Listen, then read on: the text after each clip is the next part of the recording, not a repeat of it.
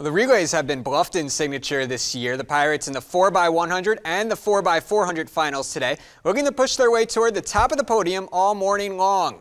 No Pirates in the mile, but Antwerp's Sam Williamson gets across the line in fourth. Lincolnview's Bailey Toe, a new school record for sixth. How about the 4x1? Pirates Isaac Little anchors a silver medal finish in 43.54. Isaiah Klein and Crestview takes third.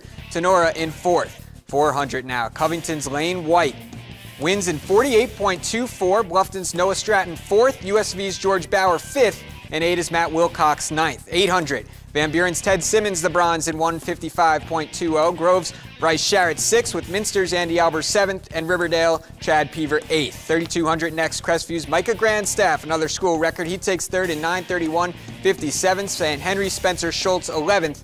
Final race of the day, the 4x4, West Liberty Salem wins in 319. Bluffton gets its third top four finish of the day with Minster 6th and Allen East 8th. A great day for the Pirates and Noah Stratton, all starting with his open 400. That was a PR, that's the best I've ever ran in a 400, and uh, just be able to be up on that podium and being in front of all the stands and everyone in it. So yeah, I'm extremely pleased. Were you able to run your race like you normally do, or did you have to make any changes down here at the state meet? Um, I was in lane three, and I had Lane White, who was uh, the top qualifier for yesterday in lane four. So I just tried to keep up with him as best as I could. Just all I had in my head was just the sun shining off a silver medal right now. So that's all I was thinking about. So that helped push me through. D3 girls action. Russia starting the day off well as senior Leah Francis taking fourth in the 100 hurdles, time of 15.21 ticks. Then later on in the day, Raiders sophomore Lauren Heaton comes from behind to win the 400 as she falls across the finish line in first. Her time 57.29. Riverdale Sarah Hunter sixth. Anna's Kennedy Glover ninth. Heaton a bit surprised with the victory. I passed the Gibson girl on the last stretch, and wow, it's amazing. Seventh place last year, first place this year. Uh, did you change any strategy this season? No, I mean my first 200 I go out a little slow, and then my last 200 I just try to kick it in. That's that's about it. Busy day for the Tinora ladies. Start out in the 100. Tori Abdul sprints to a win in 12.3 ticks. USV's Brittany Holbrook makes the podium in eighth. On to the 4 by 4 by 2 More from the Rams Golden in 143.21. Columbus Grove 6th. Minster 9th.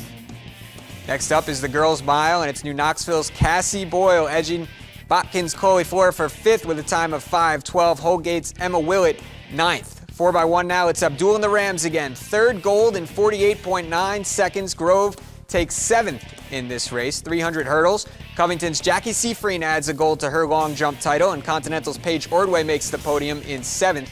In the 800, Fort Loramie's Meg Westerheide finishes second for a second straight year. Van Buren's Rachel Resnick eighth, with Cory Rawson's Hannah Rebke ninth. 4x4, the Minster ladies get the silver, just edged by Archbold's 356, Marion Local sixth. Finally, the 200, Tori Abdul's fourth gold in 24.86 seconds. Ali Toby fourth for the Flyers. Rams, Chelsea Seifert fifth. It's been a long road for Abdul to get to the top of the podium. I was in foster care for five years, and I, God saved me, and through track, He has brought me through a lot of ruts, and I've used track to get out of those ruts. And so I run for God, and because He has given me so much, I try to give Him the glory. Amazing stuff there. Field day now. Start with the Division II pole vault, and Elida's Tori Bowen taking the early lead as she was the first to clear. She'd finish 10th as she would go over 12 feet. Versailles Jenna France following suit clears 10-8 and she would take 7th in Division 2. More from the pole vault. Liberty Benton's Sam Johnson over 10-4. She would finish in 9th place. Girls shot put. Bellefontaine's Brenda Johnson throwing on a torn ACL finishes 7th. Toss of 39, 4 and a quarter inches. Van Wert's, Alexis Dowdy back at state second straight year, and she would finish on the podium with a fourth place toss of 41, 10 and a half inches. Division one long jump, Celina's Becca Carr going 17 feet 8 inches as Carr would finish in sixth place for the Bulldogs. Lima Senior in three events today. London Williams takes 12th in the shot, Rico Stafford fifth in the 400, and the boys 4x4 relay team takes seventh. The Spartans grab six points. Alexis Dowdy's little siblings were her inspiration. I love when Aaron and Amaya, my little siblings, are there. Um, they, uh, I don't know, I just can't do bad when they're there. I, it's just awesome having them there. For the second straight year, athletes from around the state qualified in the wheelchair events. Ada's Danny Klinger finished fifth in the 100, 400, and 800, while Van Wert's senior Tyler Priest had a shot put over 11 feet to take fifth as well. Special moments in Columbus honoring these great athletes. Let's take a look at the final Division Three standings. McDonald edges Tinora by one point for the state title. Otherwise, Tinora would have had two team titles today. Perhaps. We'll get to the Tinora baseball highlights in a little bit. Marion local Minster Russia top 11 finishes, and as we mentioned earlier, LCC boys by far the Division Three champion with 52 points. Bluffton a fifth place finish. Liberty Benton and Crestview rounding out the top 15.